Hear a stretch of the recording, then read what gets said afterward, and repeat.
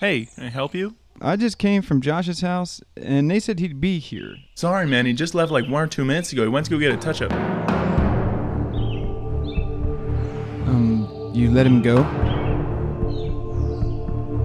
Uh, yeah. I gotta go.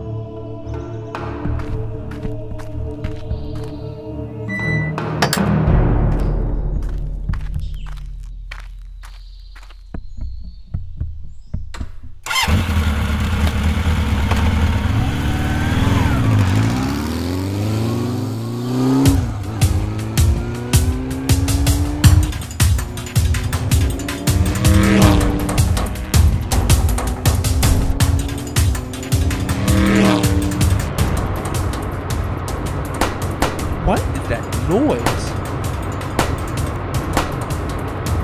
Whoa.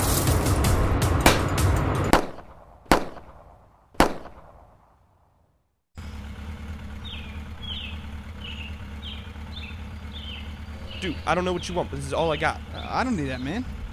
TJ? What's up? What are you doing? Well, I was trying to get you to stop. All I want to do is just give this to you.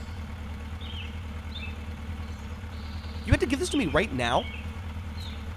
You couldn't have just called me and then dropped it off tomorrow? Do you know how dangerous it is to be talking on the sofa and driving at the same time, Josh? Probably not as dangerous as getting shot at and driving at the same time.